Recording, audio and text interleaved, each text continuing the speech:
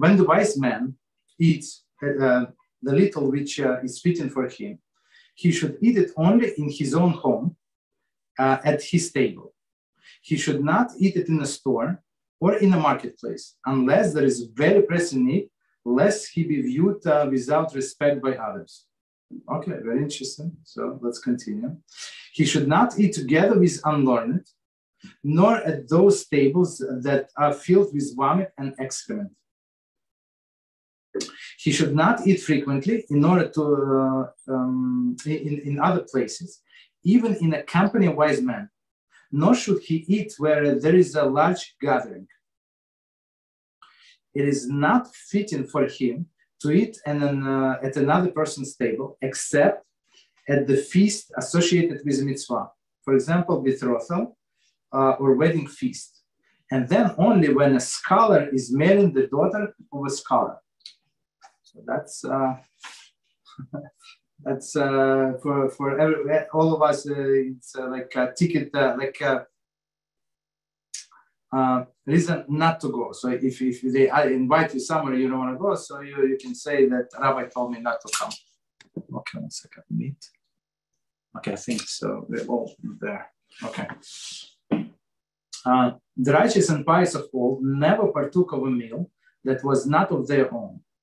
Okay, so let's see. Let's see what it all uh, means. So basically, like, uh, have to be very careful in whose company you eat. Okay. So it says when uh, when the wise man eats a little. So I, am starting from the beginning. We go with commentary. Sorry. When a wise man eats uh, a little, which is fitted for him, he should eat it only in his home at his table. So very clearly at his home and at his table. So what does it mean? 23. In the, um, the previous halacha discusses the quantity of food and um, um, and the attitude with which it was uh, it, it, was to be eaten. Right.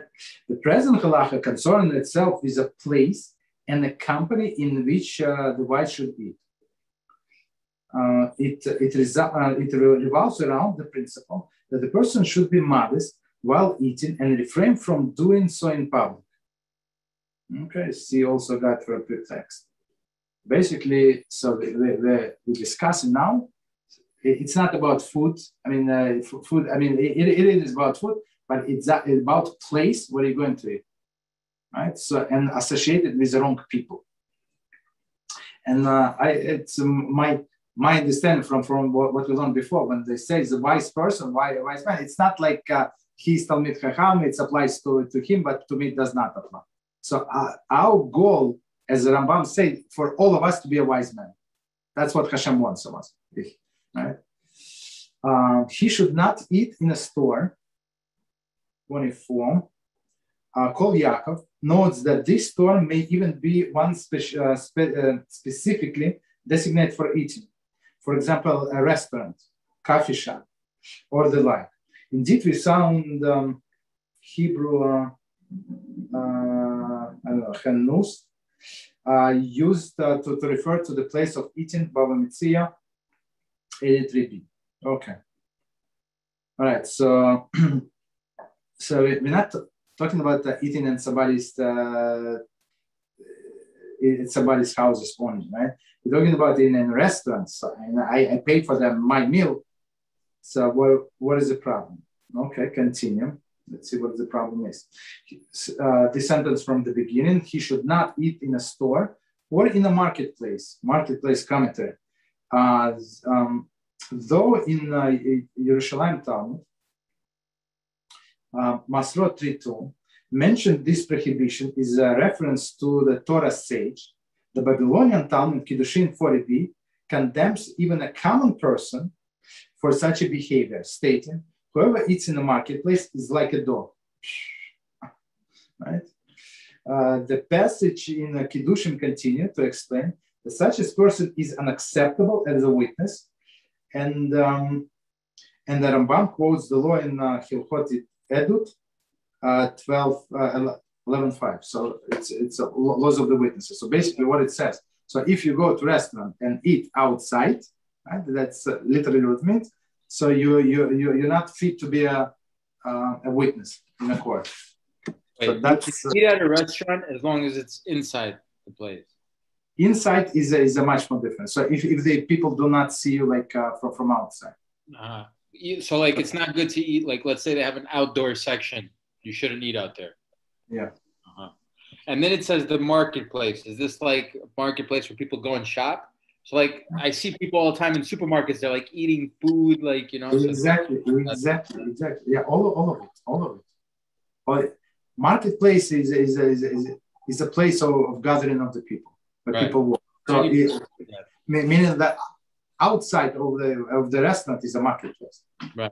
In some oh, sense, where people walk back and forth. Gather, right, like a public type of place where everybody. Exactly, exactly. So so people see him eating right? And uh, people uh, like when when people eat, they resemble uh, the animal the most, mm-hmm.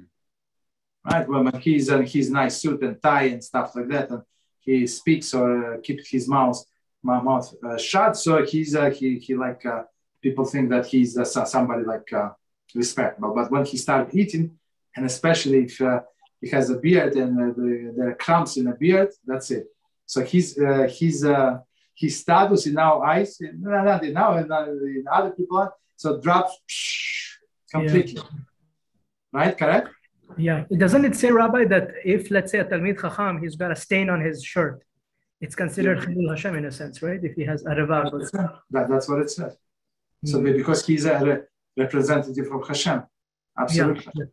So, yeah. When it comes to eating and drinking, also, uh, I've heard that it's it's generally better to sit and make the bracha and eat. Like a lot of times, I have a question when you have kiddush in Shabbat in a lot of places, right? They, everybody's standing in one row, and everybody, in fact, in most places, they stand and they have the kiddush and then they eat everything while standing. what do you think about that?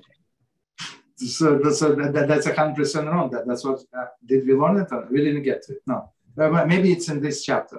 But but no, no, I, I have I've heard I know that it's wrong because I've I've uh, no, no, no, it's, I've a, read that it's, a, it's a halacha, so it's not respectful, mm-hmm. especially when you do kiddush. So if you if you are running out of the house and, and you took a bite of the I don't know, uh, I don't know these uh, cookies and then you you you run into to your car, it's it's one thing. I mean you're in a rush.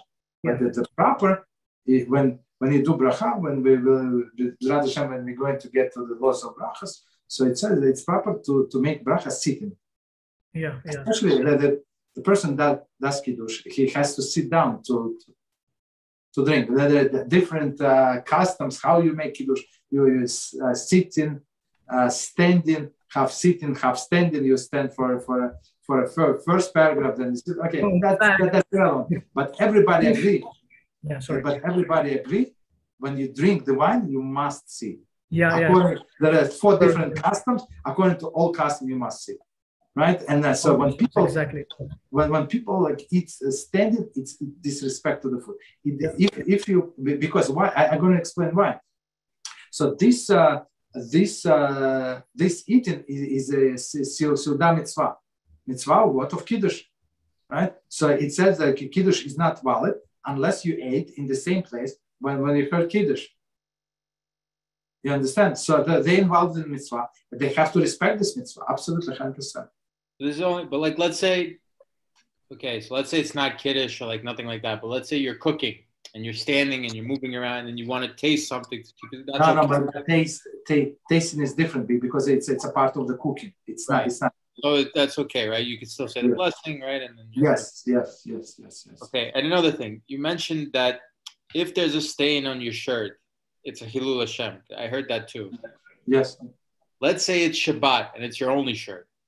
Mm-hmm. And you can't wash it and it's your only shirt. Then what do you do? Do you just go out there with a dirty Talmud, Talmud says when uh, when you, when you go out in uh, on Shabbat with a stain on a shirt, it's a Kiddush Hashem.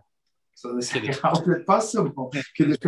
so it says that you so you you worry about Shabbat more then you uh, uh, uh, what about you you want kavod you understand? So uh, actually that, that's what we, we learned in our uh, Shabbos class. So we said uh, it, it, that's exactly the topic right guys? So the topic is laundry that you're not allowed to laundry. Right, right? No. so you, you have one one one short and you want to go to the shul for example for mincha or in the morning let's say you, you stay in your short on friday night. So that's that's all you do right? So, so you say, I'm not going, I'm not going to clean it You see, I I I manifest Shabbos, so it's a it's an exception. But in, in other days, as we said before, that there's no no no excuse. You you must stay for another five minutes. Gotta be wa- wa- wash your shirt and come uh, go go out. Understand? And nowadays, everybody's got more than one shirt anyway, so it's okay. The the life today is so easy. Um, I, I don't I don't remember who was um, who was uh, tell tell me this story about uh, Rav Shach. I think this great Rav, Rav Shach that's all, that uh, when he was a little boy, so he he would uh, come come to the river to to wash his shirt, and then he would learn right when, he, he would uh, wash put, put it on on, on on a tree to dry, and he would learn. So a woman was passing by. Said, "The young man, what are you doing? It's not proper. You you look you look like you you're a learning person, and and you're learning uh, without the shirt. It's not proper." And he he was very embarrassed, and he said, uh, "I apologize, but that, that's the only short I have, and I, I don't want to waste my time until the shirt is drying." So she she went home. She said, "Stay here." She went home and uh, brought uh, her husband's shirt.